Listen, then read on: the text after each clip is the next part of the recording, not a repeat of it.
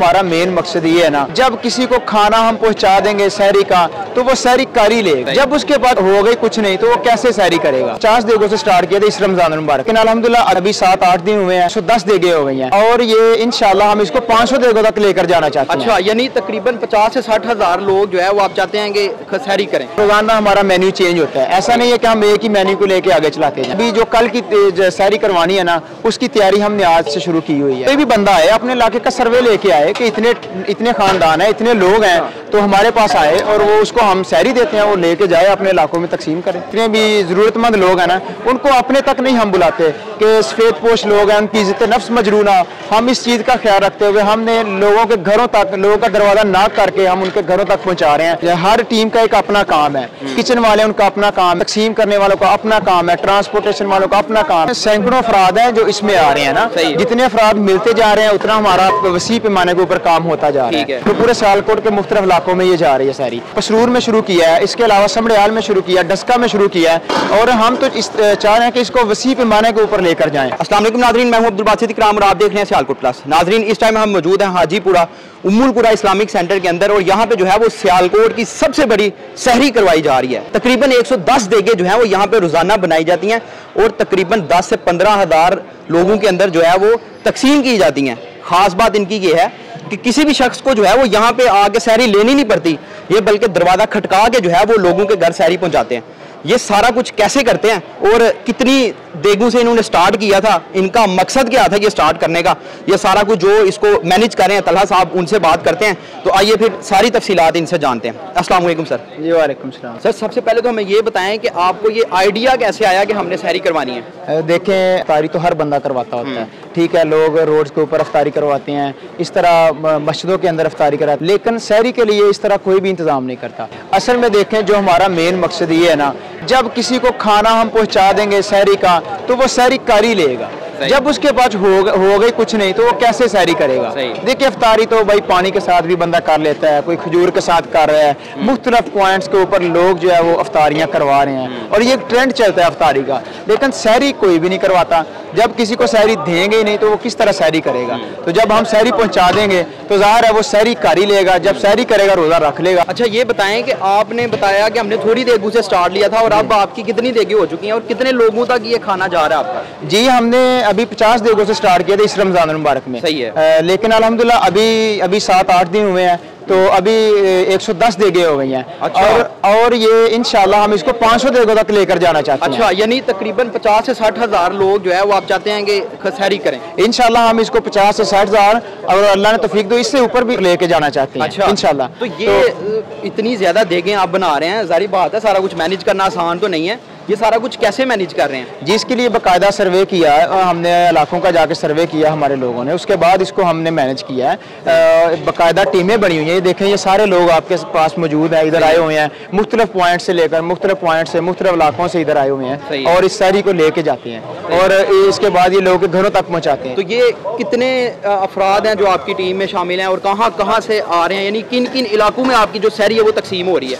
ये तकरीबन सैकड़ों अफराद हैं जो इसमें आ रहे हैं ना। जितने अफराद मिलते जा रहे हैं उतना हमारा वसी पैमाने के ऊपर काम होता जा रहा है। तो पूरे सियालकोट के मुख्तलिफ़ इलाकों में ये जा रही है। की एरिया है इसके अलावा राखी वाल है इसके अलावा जो हेड मनाला है शहर के जो एरियाज़ हैं बजवात है ये सारे एरियाज़ में हमारी सैरी जा रही है। इसके साथ साथ अभी हमने पसरूर में शुरू किया है इसके अलावा समड़ियाल में शुरू किया डस्का में शुरू किया है और हम तो इस चाह रहे हैं कि इसको वसी पैमाने के ऊपर लेकर जाएँ।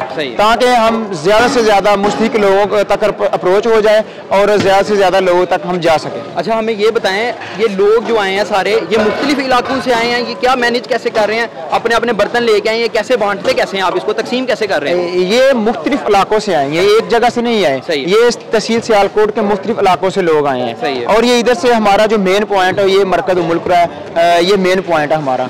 इधर से हम शहरी जो है ना वो लोगों को जो हमारे पॉइंट से लोग आते हैं वो बाल्टियाँ लेके आते हैं कुछ अपने बर्तन लेके आते हैं मुख्तलिफ़ इधर से शहरी ले जाते हैं। इधर से शहरी लेके जाके लोगों के घरों तक पहुंचाते हैं। और इसमें मैं आपको साथ साथ ये भी बताता चलूँ कि सबसे बड़ी बात यह है कि हमने जितने भी मसाकिन हैं, जितने भी ज़रूरतमंद लोग हैं ना, उनको अपने तक नहीं हम बुलाते कि सफ़ेद पोश लोग हैं, उनकी इज़्ज़त नफ्स मजरूना हम इस चीज़ का ख्याल रखते हुए हमने लोगों के घरों तक, लोगों का दरवाज़ा नाक करके हम उनके घरों तक पहुँचा रहे हैं। और ये हमारी टीम, ये देख सकते हैं आप कि ये इधर से सैरी लेके जाएगी और लोगों के घरों तक इसको पहुँचा के फिर इन्होंने खुद सैरी करनी है। अच्छा आपका मेन्यू क्या है? इसमें क्या क्या पकाते हैं? और जारी बात ये कोई एक दो घंटे की काम तो नहीं है? कि कैसे सारा कुछ मैनेज कर रहे हैं? जी देखें हमने अलहमदिल्ला पूरे महीने का मेन्यू बनाया हुआ है। अच्छा। हम मुख्तलिफ़ हर रोज़ाना हमारा मेन्यू चेंज होता है। ऐसा नहीं है कि हम एक ही मेन्यू को लेके आगे चलाते जाएँ। इसमें दालें हैं सब्ज़ी हैं गोश्त है इस तरह मिक्स सब्ज दालें हैं। और इस तरह हम इसको लेके चल रहे हैं। और रही बनाने की बात तो ये इतने बड़े का जो इतने बड़े लेवल का काम है इसको तकरीबन हम अभी जो कल की सैरी करवानी है ना उसकी तैयारी हमने आज से शुरू की हुई है। मुख्तल मसाला जाते हैं सब्ज़ियाँ। घंटे आप काम कर रहे हो जी अलहमदिल्ला हमारा जो टीमें है ना हर टीम का एक अपना काम है। हम्म। किचन वाले उनका अपना काम है ये तकसीम करने वालों का अपना काम है ट्रांसपोर्टेशन वालों का अपना काम है। इस तरह हर टीम ने अपना अपना काम अपने हिस्से का काम करती रहती अच्छा, है। अच्छा आपके पास कोई भी बंदा आता है और वो कहता है कि ये हमारे इलाके में ऐसे लोग हैं कुछ मौजूद हैं उनको हम शहरी पहुंचाना चाहते हैं कोई भी किसी को भी आप दे देते दे, दे। जी कोई भी बंदा है अपने इलाके का सर्वे लेके आए कि इतने इतने खानदान हैं इतने लोग हैं हाँ। तो हमारे पास आए और वो उसको हम शहरी देते हैं वो लेके जाए अपने इलाकों में तकसीम करें सही है तो अगर आपसे कोई रबता करना चाहता है चाहे वो किसी भी किस्म के ताउन के लिहाज से है या वो आपसे शहरी लेना चाहता है वो आपसे रबता कैसे कर सकता है और आप इसकी जो लोकेशन है एग्जैक्ट वो भी बता दें हाँ आ, हम तो चाहते हैं कि इसको हम वसी पैमाने के ऊपर लेके जाएँ। देखिए हमने जिस तरह 50 देगों से स्टार्ट किया इस तरह लोग हमारे साथ मिलते गए और इस दिन तक हम 110 देगों के जो है ना ऊपर चले गए हैं। अच्छा। तो हम तो इसको 500 से ऊपर लेकर जाना चाहते हैं। तकरीबन पचास साठ हज़ार इससे भी ज़्यादा लोगों तक हम इस खाने को पहुँचाना चाहते हैं। हम्म। तो इस तरह हम चाहते हैं कि जितने भी लोग हमारे साथ ताउन करना चाहते हैं हमारा स्क्रीन के ऊपर नंबर चल रहा है उसके ऊपर रबता करें और हमारे साथ मिलें। और एग्जैक्ट पॉइंट हमारा ये ये मरकज़ मुल्क हाजीपुर पूरा कोटी स्कूल की बैक साइड। और इधर से हम शहरी लोगों को जो हमारे जिम्मेदारान हैं उनको अपने लोगों को देंगे। और वो अपने पॉइंट्स के ऊपर जाकर लोगों के घरों तक पहुँचा देंगे। देखें सबसे मज़े की बात ये है कि हमारे पास जितने भी लोग आ रहे हैं तरावियाँ पढ़ने इधर वो मर्द हैं ख़वातीन हैं। तकरीबन हज़ार पंद्रह सौ की हमारे पास तादाद है। इस टाइम जो अलहमदिल्ला आ रहे हैं। ना हमने अभी इसको साथ स्टार्ट किया है कि जो भी खाना चाहता है लेकर जाना उसको जो है ना हम खाना दे रहे हैं। भी तरावी वगैरह पढ़ने आता है वो खाना यहाँ से जी जी खाना हम तो चाहते हैं कि हर बंदा इधर से खाना लेके जाए जो भी तरावी के लिए आ रहा है उसको हम खाना दें और वो हमारे खाने के साथ सैरी करें, क्योंकि हम इस खाने को एक मैारी खाना बना रहे हैं। सिर्फ़ इसको फार्मेलिटी के तौर पर नहीं दे रहे कि ये एक फार्मेलिटी है, ये हम बोझ है, हम इसको बिल्कुल नहीं कर रहे। ये एक इस इंसानियत की खिदमत है, हम इसको साथ लेके चल रहे हैं और ये स्वाब की नीयत से सब कुछ कर रहे हैं। अच्छा आप जो है, आपने बताया आप बाकायदा घरों में जो है वो नॉक करके दे रहे होते हैं शहरी तो लोगों का रिएक्शन कैसा है जी अल्हम्दुलिल्लाह, लोगों का रिएक्शन बहुत अच्छा है इसके ऊपर।